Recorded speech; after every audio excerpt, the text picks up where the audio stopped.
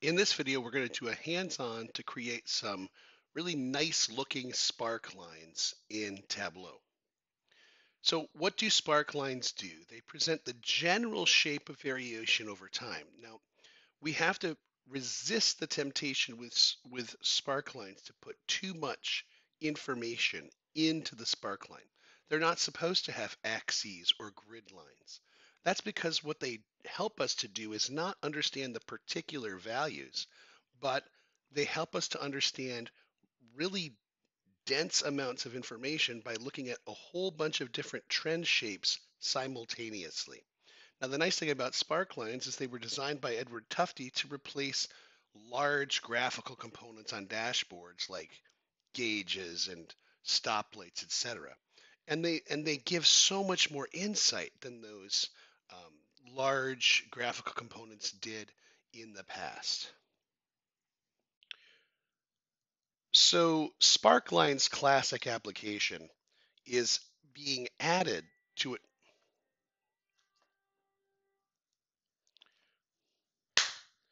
Sparkline's classic application is being added to a table, which is point in time data, to add in some context as to whether or not these numbers are quote unquote good or bad, right?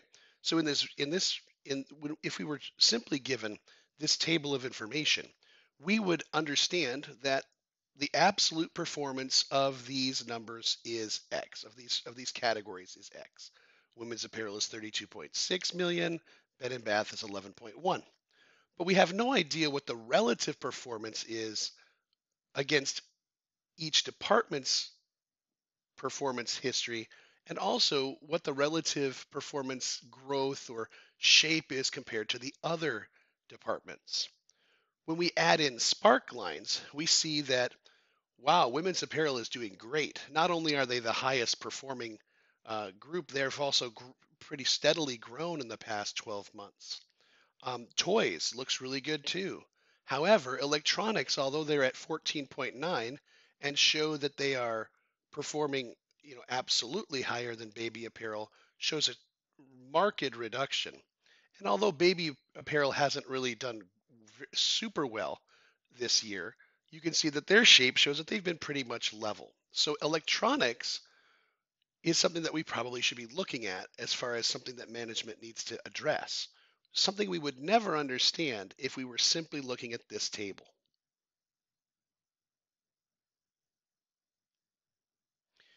So we're going to go into Tableau now and make this sparkline.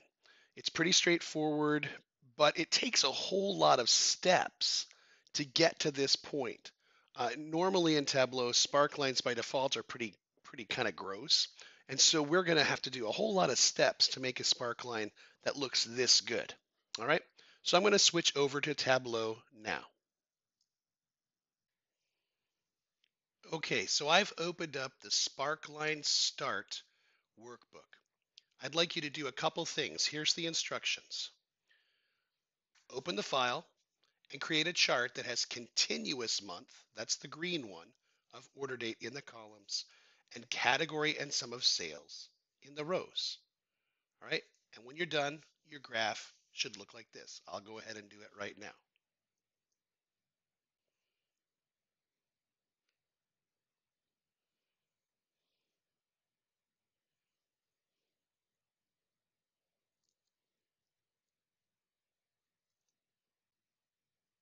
And so your graph should look like this, or if it's more full screen, it looks like this. All right. So the next thing we want to do is to add the high and the low points to each of the rows in the graph. But this isn't really an out of the box option. You could add labels to the min uh, labels to the min and the max point using the marks card, which ends up looking like this. But that's not what we want, all right? Let me demonstrate what I'm saying. We could just, we could just go over here to the marks card and for the label, just choose to only label the min and the max points, right? And do that for each pane and show the mark labels. And we get the maximum and the minimum for each pane. But that's not what we want. So I'm just going to undo that. Now, I've actually helped you out in this one as far as um, adding a calculation that can help us to make that uh, cool looking sparkline. And you have a field in the workbook that's called high-low. Go ahead and right click it and open it for editing to look at this formula. And I'll show the formula here. This is what the formula should look like when you open up the high-low field, when you right click and choose edit. It says if window max sum of sales, that means for the current window, if the sum of sales for if the maximum sum of sales point equals the sum of sales for the current point or the maximum the minimum sum of sales the window min so window max sum of sales it says for all of the sum of sales points in this window if the maximum equals this sum of sales or for all the sum of sales points in this window if the minimum equals the sum of sales then put sum of sales into this high-low field. And so what's going to happen is for every row in the database, um, for every row in the visualization, there's going to be a new field added that's called high-low. And if the row equals the minimum or the maximum in its own window, there's going to be a new field that says the same value as the sales as the sum of sales. Okay, so and the other ones will all say null all right? So what that's going to let us do is plot just for the max and the minimum points the sum of sales, all right? So this is what I want you to do. I want you to add high-low to the row shelf, which is going to add a dual, uh, we're going to add an extra row here, and then we're going to actually uh, dual axis this thing, all right? So add high-low to the row shelf, and then your graph will look like this. And then we're going to right click high low and choose dual axis. All right, I'll do this right now. So I'm going to add high low to my rows, which is going to give me two rows for each category. And then I'm going to click on the drop down or right click on high low and choose dual axis. And now you see that I've got these points that are here and the colors are kind of messed up. We're gonna we're gonna fix these colors in a few minutes, all right? But we've got the points and we've got the lines, all right? So we're well on our way to making the grid lines, sorry, the spark lines. Now, the next thing that we have to do is synchronize the axes on the two sides so that we, we make sure that they plot at the same level and we're going to have to make another change. After we make our, after we synchronize our axes, we're going to have to do one more thing. And let's take a look at what that is. All right. So synchronizing the axes is important. Now, in this case, it's not going to really make that big of a deal because we're plotting values that are at the same range. But we want to always make sure we're being careful uh, to, to synchronize these, um, these axes. Now, the other thing that we want to make sure that we do is, now notice that these axes are all pretty much in the same scale, but they're, they're from zero to 50,000. But if you'll notice, office supplies never gets above 40,000. Technology gets to 50,000, but furniture never gets above 40,000. So we actually, in spark lines, don't want the scale of the spark lines to be, to be determined by the biggest spark line. We want all of these scales to be independent. So I'm going to right click here and choose edit the axis. And then you see here where it says independent axis ranges for each row. That's what we want to do. So I'm going to hit that. And now I'm going to click this X and get rid of it. And you'll see now that this axis only goes up to about 40,000. This one goes to 50,000 and you'll see that they are independent of each other. Every axis is a different scale, right? So those are the two steps that we really want to make sure we do. We want to we want to make sure that we synchronize the axis and we want to make those axes independent. Now there's one other field that I've added to the um, to the workbook, and it's called color. So right click that field and open it up and you'll see this formula. And so it's really quite straightforward. It's an if then else if uh, formula. It says if the sum of sales of this point equals the sum of the the minimum sum of sales, then low. So basically put in the color field the word low.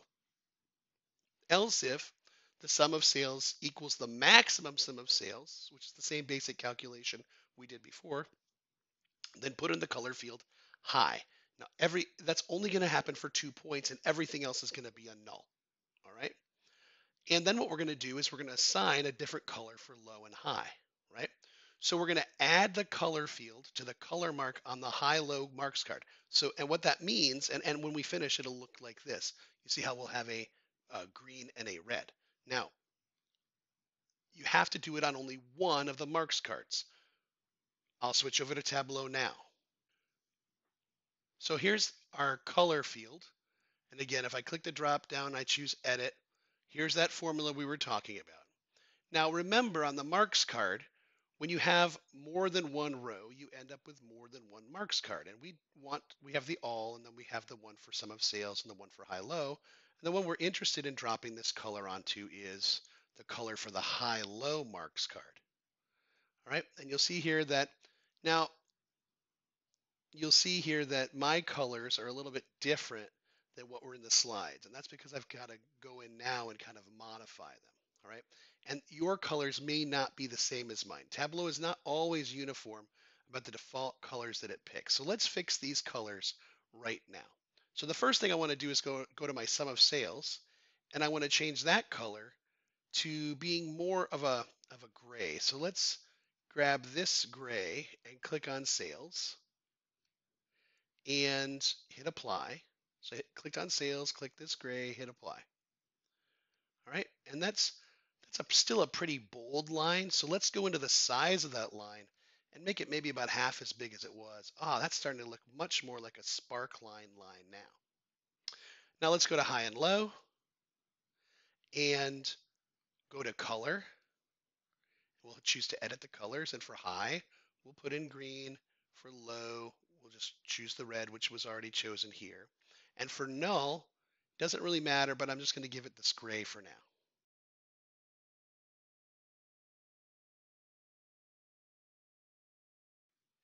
And those dots are, are there, but they're a little small, so let's make them a little bit bigger. Maybe even that big. There we go. And now we're starting to look like spark lines. Now you see down here how, how this uh, indicator shows us that we have 138 null values. That's a good thing to know. But we don't necessarily need that on our chart because we've intentionally created this field with 138 nulls. And I'm going to right click and choose hide the indicator. And then I'm going to edit my um, legend here to just hide it. Because we know that's high and that's low. It makes it's totally makes sense. All right. And we don't really need this card either. All right. So now we've got our our our spark lines pretty well done. But there's a few more steps, and we're gonna quickly look at what those steps are, and then we're going to go and do them all together. All right. Now we've already done the first three of these. We've changed the color of the sales line to light gray. We changed the color of the high low to red and green. We've hidden the measure names and color cards. And now we're going to do a few things. We're going to get rid of some headers. We're going to resize the graphs, and then we're going to remove all the grid lines. And in the end, we're going to end up looking like this. So let's do that now. So I'm back in Tableau. And the first thing I'm going to do is hide this header. Hide this header. Wow, and now it's really starting to look kind of cool. Now instead of standard, let's just, well, we could do it this way. We can go ahead over here and we can, if we mouse over here to the right of the graph, we can drag it over, right? We can make it like that. Can move this up a little bit. And that's okay because we're going to hide the month of order date header. Now we're really starting to cook with gas here. I'm going to make it look like this. Now later on, we're going to need to do this. I'm just going to hide the title. We don't need that. I'm going to hide this category um, field label. Now we're getting really close. Now the last thing we have to do is get rid of all of these grid lines. And this is one of the more frustrating things in Tableau. So we're going to have to do some formatting. So we're going to right click on sum of sales and choose format. And we get the format pane. All right. Now there's a lot of different things that we have we can do deal with in here, but we're going to be mainly focusing on these um, borders and lines. Okay. So the first thing we want to do is look at this row divider. We don't want that. We don't want these column dividers, so let's get rid of that. And now it's kind of confusing because um, it, which lines are these middle ones? Well, we have to go into the actual lines here. And now we see that we have some zero lines we want to get rid of. We have reference lines we want to get rid of. We have drop lines we want to get rid of. Uh, else am I missing here? Oh, on the rows. Oh, there we go. Axis ticks. None. Oh, there it is. Grid lines. None. Now, now we're really looking good here. We could do some changes a little bit. We could change some font things here if we wanted to, or we could even like spread this up a little bit. But right there, we've got some pretty nice looking grid lines. All right. And that's way better than what you get out of the box in Tableau. Now we're going to do another video where we add this to the table in that classic way that grid lines are used.